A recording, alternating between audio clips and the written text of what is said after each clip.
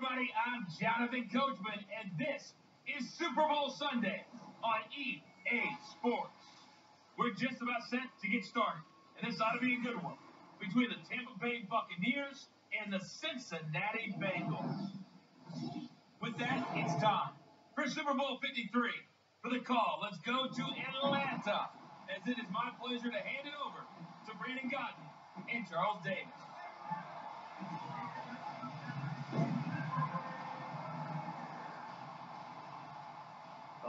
Much appreciated, Coach, as we welcome all of you to our exclusive coverage of the National Football League on EA Sports.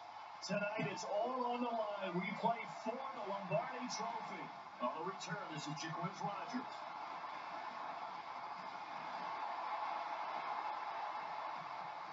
Wrap up. Still, and he's into the clear. The 30.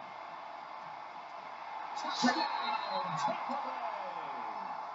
Jacquizz Rodgers, 94 yards. And the Bucks have taken a first quarter lead. Striking first in any game is very important, but on this stage, the biggest of stages in the Super Bowl, that's huge. You fully expect the other team to battle all the way through, but when you're the one setting the pace, jumping out in front, that has to feel great for the entire organization. Here's Chandler Catanzaro for the extra point.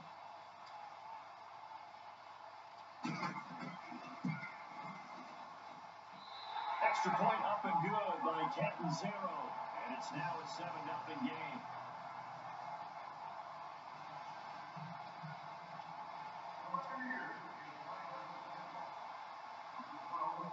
So now the other return teams out there as they'll try to duplicate what they just saw.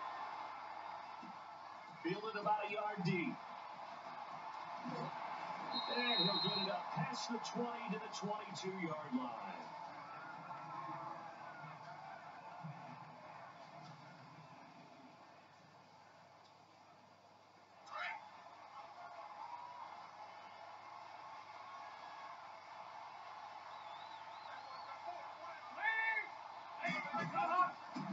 Former second round pick, this is Joe Mixon.